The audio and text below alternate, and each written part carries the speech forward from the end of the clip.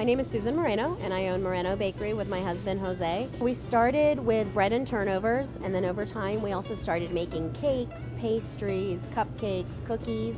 Um, then the sandwiches, I mean, the sandwiches came from the bread because we were making bread. Customers asked for sandwiches. And when we expanded five years ago, then we also started making food. So it's a full bakery with every product you can think of, as well as um, a deli and almost like a cafeteria.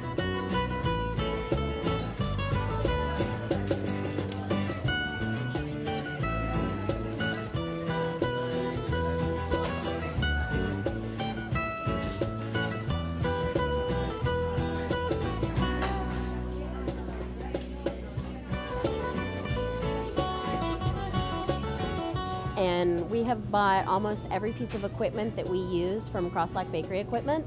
Um, it first started with our ovens and our tables and the two mixers that we could afford when we opened 10 years ago. And every time a new need came about, we went back to them for that equipment.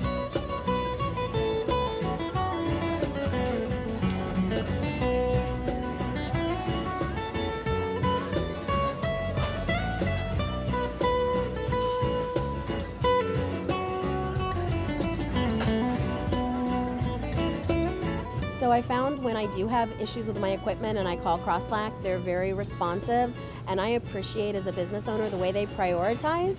If it's an oven that's not working, they're very quick to get that out. When it's something that isn't as critical and they say we've got somebody with a critical issue that we need to take care of before you, I respect that and I appreciate it because it means when I'm the critical one, I'll be the one getting first priority.